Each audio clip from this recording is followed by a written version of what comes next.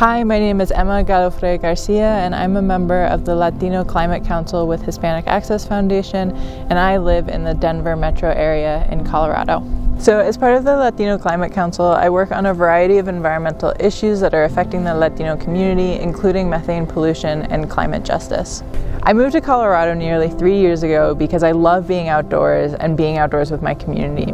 But one of the biggest factors in not moving to this area was Suncor and the negative effects that it has on air pollution and the communities in the surrounding areas. Suncor, the refinery behind us, has a negative impact on Latino communities in the surrounding area and across Colorado.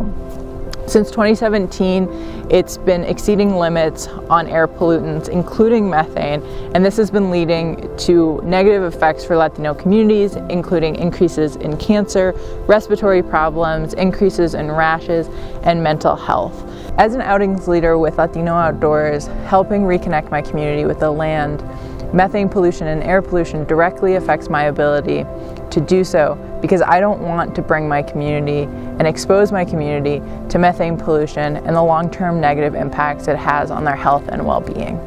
Methane pollution may be invisible, but the impacts it has on Latino communities is very real. Suncor is just one example of many across the country of how oil and gas negatively affects Latino communities and our well-being. I want President Biden and the EPA to implement stricter methane regulations so oil and gas and refineries like Suncor stop poisoning our Latino communities.